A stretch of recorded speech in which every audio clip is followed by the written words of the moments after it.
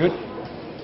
Welcome to the segment of the show which just kind of brings the whole tone down, really. It's called Douche of the Week.